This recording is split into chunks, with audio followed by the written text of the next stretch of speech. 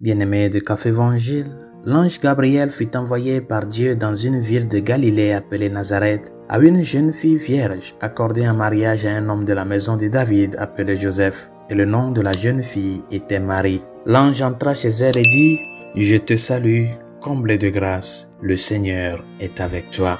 Nous célébrons, chers amis, en ce jour la solennité de l'Immaculée Conception.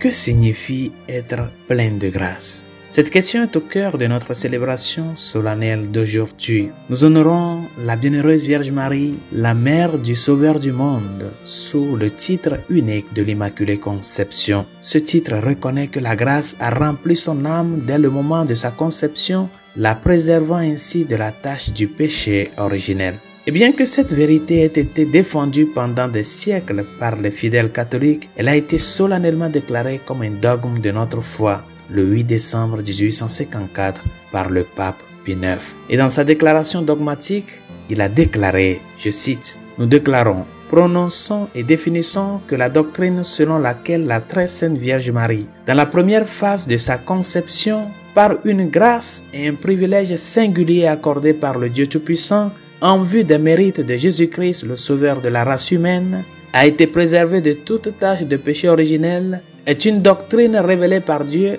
et doit donc être cru fermement et constamment par tous les fidèles. Fin de citation. Et en élevant cette doctrine de notre foi au rang de dogme, le Saint-Père a déclaré que cette vérité doit être tenue pour certaine par tous les fidèles. Cette vérité se trouve dans les paroles de l'ange Gabriel.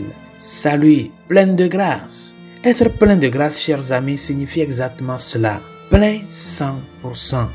Il est intéressant de noter que le Saint-Père n'a pas dit que Marie était née dans un état d'innocence originelle, comme Adam et Ève avant qu'ils ne tombent dans le péché originel. Au contraire, la Sainte Vierge Marie est déclarée préservée du péché par une grâce singulière.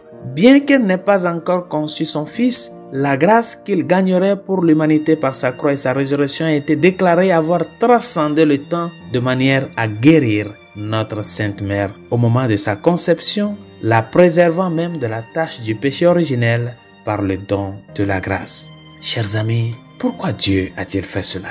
Pourquoi Dieu a préservé la Vierge Marie de la tâche du péché originel? Parce qu'aucune tâche de péché ne peut être mêlée à la seconde personne de la très sainte Trinité. Et si la bienheureuse Vierge Marie devait devenir l'instrument approprié par lequel Dieu s'unit à notre nature humaine, elle devait être préservée de tout péché. En outre, elle est restée dans la grâce tout au long de sa vie, refusant de se détourner de Dieu par sa propre volonté. Et alors que nous célébrons aujourd'hui ce dogme de notre foi, tournez vos yeux et votre cœur vers notre Sainte Mère en réfléchissant simplement aux paroles prononcées par l'ange. Je te salue, comble de grâce. Méditez-les, ces paroles-là, ce jour, en y réfléchissant encore et encore dans votre cœur. Imaginez la beauté de l'âme de Marie. Imaginez la vertu parfaite et pleine de grâce dont elle jouissait dans son humanité. Imaginez sa foi parfaite, son espérance parfaite et sa charité parfaite. Réfléchissez à chacune de ces paroles inspirées et dirigées par Dieu. Elle est vraiment l'Immaculée Conception. Honorez-la comme telle, aujourd'hui et toujours. Résolution de ce jour, comme action de grâce, comme notre forme de montrer notre gratitude à Dieu pour nous avoir donné Marie, qui est le canal à travers lequel le salut nous est parvenu à la personne du Christ. Pour exprimer notre gratitude à Dieu en ce jour, comme résolution, prions le chapelet en famille. Pour dire merci au Seigneur pour le don de Marie, de nous avoir donné en elle le Sauveur et que ce même Sauveur, qui par amour pour nous, nous l'a donné comme mère sur la croix. Bonne journée, Dieu vous bénisse.